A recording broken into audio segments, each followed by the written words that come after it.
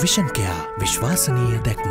බන්ධෙන් දිල්රෝක්ෂී dash Wickremesinghe චෝදනා හද්දාස් පන්සේ හැත්ත තුනක් ඉදිරිපත් කළ. චෝදනා හද්දාස් පන්සේ හැත්ත තුනක් ඇමන් ගාඩ් නම්. තැන් එතුමියම ප්‍රකාශ කර තුමේ දැම් පිළියරන්තියනවා මේක තමන්ගේ කටහඬ. එතුමියම කියනවා මේ නඩු දැම්මේ වෙන කිසිම හේතුවක් නිසා නෙවෙයි මේ කරුමක්කාර දේශපාලන කරුමක්කාර දේශපාලනය නිසාමයි එතුමිය කනගාටුව ගෝටාබේ රාජපක්ෂව කෙලින්ම සඳහන් ගෝටාබේ රාජපක්ෂට විරුද්ධම නඩු දැම් එකට කිසිම පදනමක් නෑ ඒක කළේ හුදේ දේශපාලන හේතු නිසා. එතුමේ ඉතාමත් කරගාටුවනවා එතුමියගේ හිතුවක්කාර අසාධාරණ නීති විරෝධී ක්‍රියාව නිසා රක්ෂා හාරදාක් මේ රටේ මිනිස්සුන්ට නැති සමාව ඉල්ලී පාපෝච්චාරණයක් මේ කර.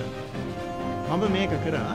ඉතාමත් භානක ප්‍රකාශන එතුමිය දැන් නීතිය හදන්නත් පුළුවන් නීතිය කඩන්නත් පුළුවන්. කාටද දිල් රුක්ෂිට එකන මේ රටේ නීතිය මුලින්දම්ම අපහු ලියන්ටෝන් අපි මෙතෙක් දුරට විශ්වාස කළේ අපි විශ්වවිද්‍යාලවල ති උගැන්නුවේ නීතිය හදන්න පුළුවන් ආයතනයේ පාර්ලිමේන්තුවතිය දැම් පාර්ලිමේන්තුව අභිභවා සිටිනවා දිල්රුක්ෂී ඩයස් වික්‍රමසි දිල්රුක්ෂ තමයි නීතිය හදන්න ඉතිය කඩන්න.